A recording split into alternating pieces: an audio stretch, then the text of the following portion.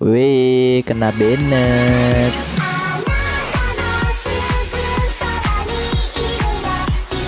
Halo guys, selamat datang di channel saya Rizka Pro dan di video kali ini kita akan membahas tentang config data skin Free Fire guys.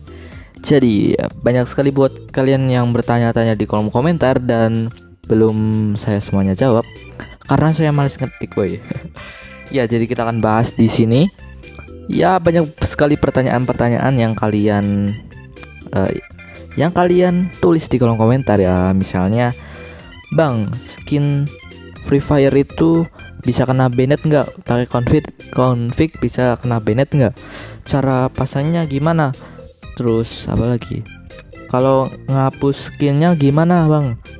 Biar normal lagi. Nah, di sini jadi kita akan membahas itu semua. Dan oke, dan apa lagi? Dan pastikan buat kalian yang belum subscribe, subscribe dulu channel ini. Jangan lupa like video ini, tembusin 5000 like dan follow Instagram saya @rizkia.pro. Oke.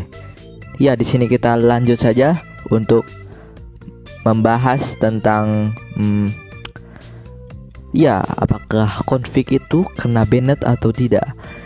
Hmm, oke, menurut saya uh, ya karena saya sudah lama memakai config ini, ya berapa minggu ya, mungkin ada dua mingguan lebih atau satu mingguan lebih saya pakai config kayak gini guys.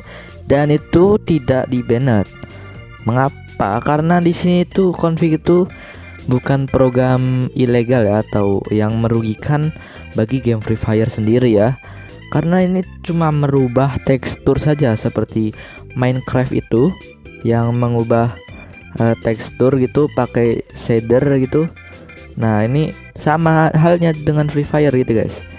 Jadi kemungkinan tuh tidak di banned guys. Kalau di banned banned itu mungkin kalian itu pakai cheat ya misalnya headshot itu saat merugikan sekali buat player-player Free Fire dan gamenya sendiri tentunya guys.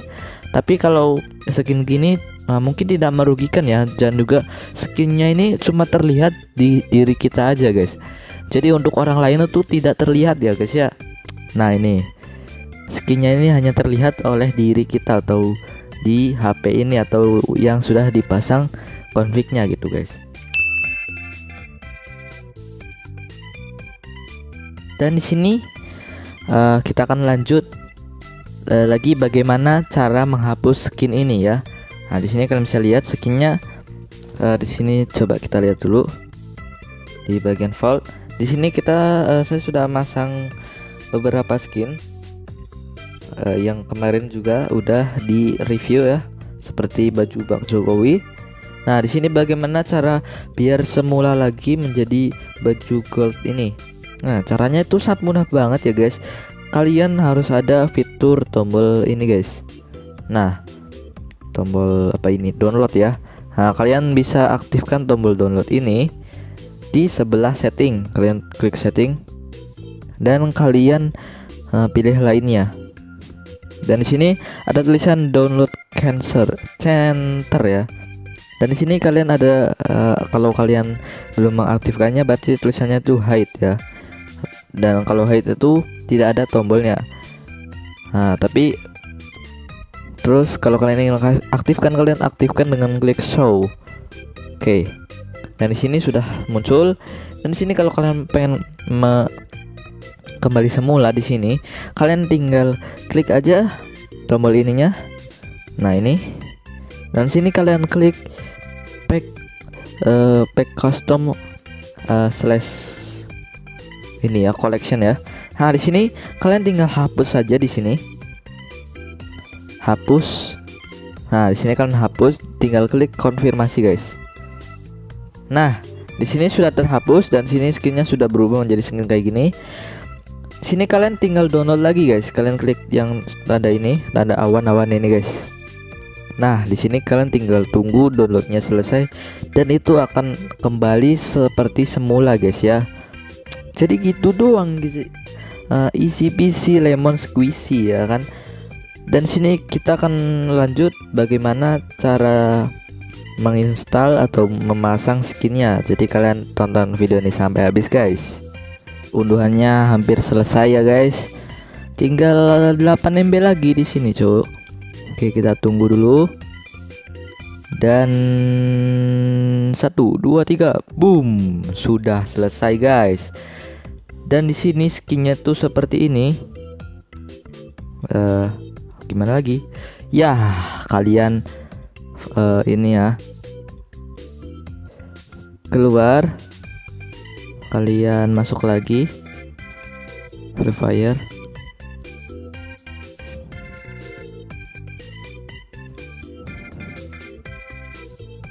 Dan kita tunggu masuknya guys. Apakah berhasil? Oke kita tunggu aja dulu dan kita masuk.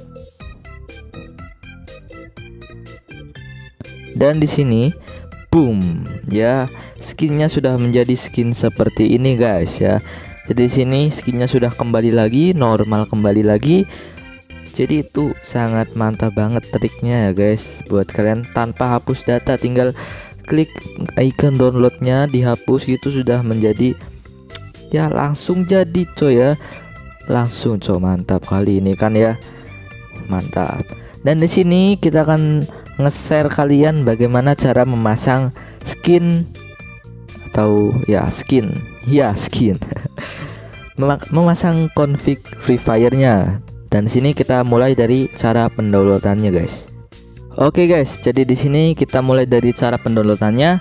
Kalian download skinnya yang ada di deskripsi video guys. Kalian bisa lihat di sini di sini ada download video Budi yaitu penghasil Diamond Free Fire. Kalian bisa download juga ya guys. Dan di sini skinnya ya. Dan di sini ada bermacam-macam kalian bisa download linknya tuh ada di setiap video saya. Oke, kalian dan sini kalian ingat-ingat password ekstraknya yaitu Rizkia Pro tanpa digabung langsung dan huruf kecil ya. Jadi di sini kalian tinggal klik aja linknya.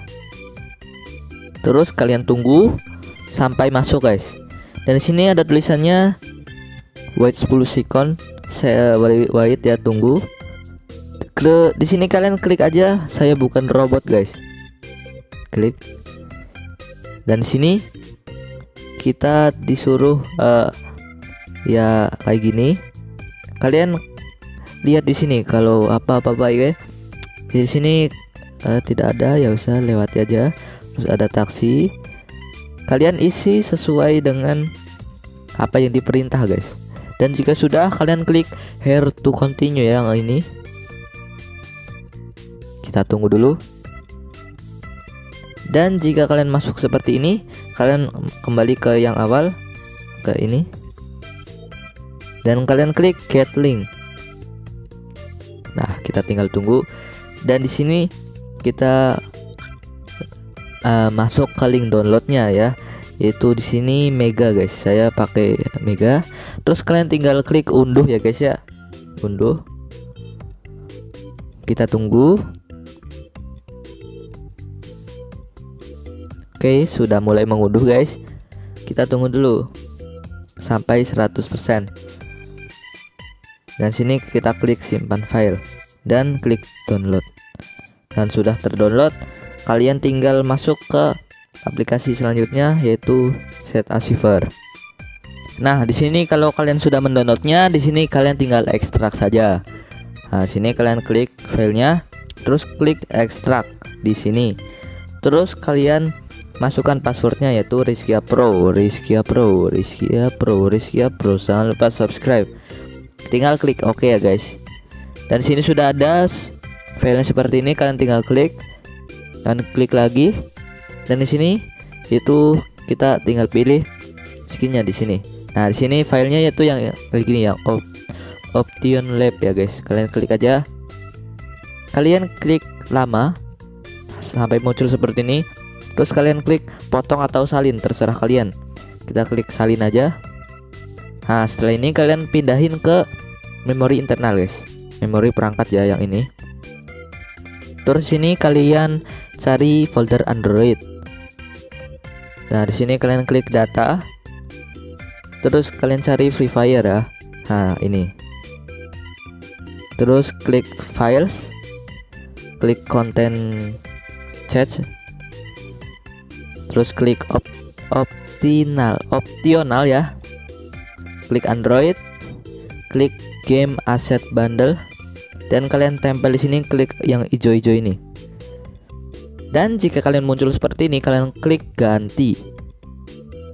Dan sudah kalian tinggal menikmati uh, skinnya. Dan oke okay guys mungkin segini aja dulu untuk video saya kali ini. Jika video ini bermanfaat jangan lupa kalian klik klik maksud saya klik tombol like comment dan subscribe. Dan follow instagram saya rizka.pro karena di sini kita akan berbagi pengalaman dan berbagi keseruan. Oke okay guys selamat datang eh selamat datang. Selamat berjumpa lagi di video saya selanjutnya. Bye bye